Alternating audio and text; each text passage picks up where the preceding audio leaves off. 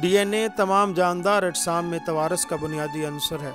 یہ اس لیے بھی اہم ہے کیونکہ خلیے کے تمام عوامل کے وقوع پذیر ہونے کی معلومات اسی میں درج ہے۔ D N A nucleic acid کے دو پالیمرز پر مشتمل ہوتا ہے، جو ایک دوسرے کے گرد دوہرے پیچدار سپرنگ کی طرح لپٹے ہوتے ہیں۔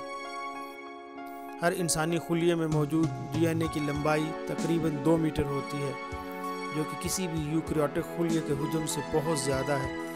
ایک عمومی یوکریوٹک خلیے کا حجم تقریباً سو مائکرون ہوتا ہے۔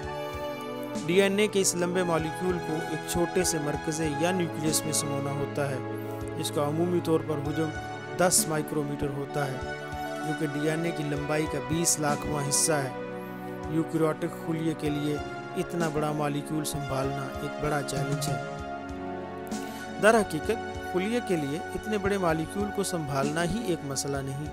ضرورت اس امر کی بھی ہے کہ جب یہ ڈی این اے خلیے کے مرکزے یا نیوکلیس میں سما جائے تو وہ اپنے افعال سر انجام دینے کے قابل ہو یعنی یہ ہر مرتبہ خلیے کی تقسیم کے وقت اپنی ہو بہو نقل تیار کرے اور وہ بھی بغیر کسی غلطی کے۔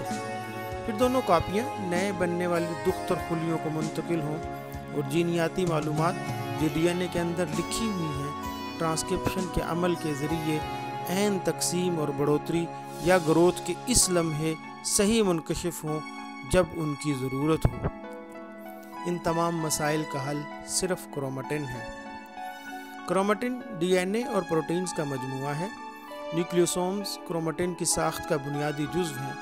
چار مختلف histone proteins, histone H three, H four, H two A اور ایچ ٹو بی کے دو دو مالیکیول مل کر ہسٹون آکٹامر بناتے ہیں۔ جو ڈی این اے کو لپٹنے کے لیے جگہ فراہم کرتے ہیں۔ ہسٹونز کے غیر رسمی این سرے یا این ٹرمینل اینز آکٹامر سے باہر لٹکے ہوتے ہیں اور بہت سے کیمیابی تعاملات جیسے ایسیٹائلیشن فاسفورائلیشن وغیرہ کے لیے بہترین موقع فراہم کرتے ہیں۔ نیوکلیوسومز میں ایچ تھری اور ایچ فور ڈائمرز کی شکل میں موجود نہیں ہوتے، بلکہ وہ ایچ تھری اور ایچ فور کے ٹیٹرامرز بناتے ہیں۔ ایک کے بعد ایک رسمی ہسٹون پروٹینز کے ڈائمر ڈی این اے کے دوہرے پیشدار مالیکول سے جڑتے ہیں اور اس مقصد کے لیے اس کی بناوٹی و ریاضیاتی خصوصیات کا استعمال کرتے ہیں۔ اس کے نتیجے میں D N A histone aptamer کے گرد دو مرتبہ بل کھاتا ہے اور نیوکلیوسومز کور پارٹیکل وجود میں آتا ہے۔ نیوکلیوسومز میں ڈی این اے کی لمبائی تقریباً ایک سو سینتالیس بیس پیئر ہوتی ہے اور وہ ہسٹون آپٹامرز کے گرد بائیں سمت سے گھیرا ڈالتا ہے۔